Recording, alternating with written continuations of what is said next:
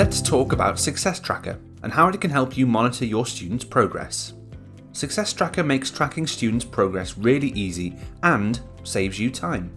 Before we take a look, we wanted to tell you that it's really important that students have their own logins, which you can get by uploading them to manage users. You can check out the video on this to find out more. Using individual student logins will allow students to access any assessments you've set for them and means scores from these assessments, as well as scores from completed activities, are automatically recorded. Moving on to Success Tracker, you can view the scores here. Success Tracker is great as it records every correct and incorrect answer.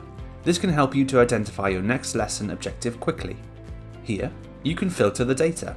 This is helpful if you want to see certain information. You can select to view class, group, or individual scores by each subject and even by the period of time. By selecting to filter by individual scores, you can see the progression of a child throughout the academic year. You can also use the filters below to refine your view further. It's great for creating the perfect report plan for future lessons and homework. There's even an option to save your selection too, so your chosen filters are remembered every time you visit Success Tracker. Click Go to view your data. Once the data is presented, you can export it as a CSV file or print it. This is ideal for reports, including those for senior leadership teams at school and also for parents' evenings to see student progress. You can also add columns or change the data you want to view here by using the drop down options.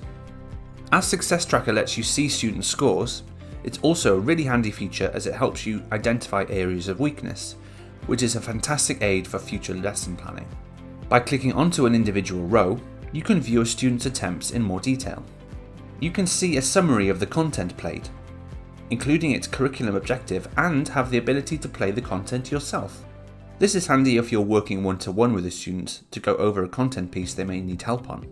With the ability to see correct and incorrect question answers, it allows you to see progress and identify areas of weakness. Students can also see their own scores and progress through a feature called My Success. Check out the student overview video to learn more about this. You can print a certificate from here too as a reward. Success Tracker and MyCity go hand in hand, as they both help you lesson plan. If you want to add the content to a MyCity from Success Tracker, so that it can be revisited, you can do so easily by clicking on the plus button. You can add the content to an existing MyCity or even put it in a new MyCity for either classwork or homework. By pressing the orange plus button beside the MyCity you want to add the content to, a green tick will show to indicate that it has been added. If a grey tick appears, this means it's already in the MyCity.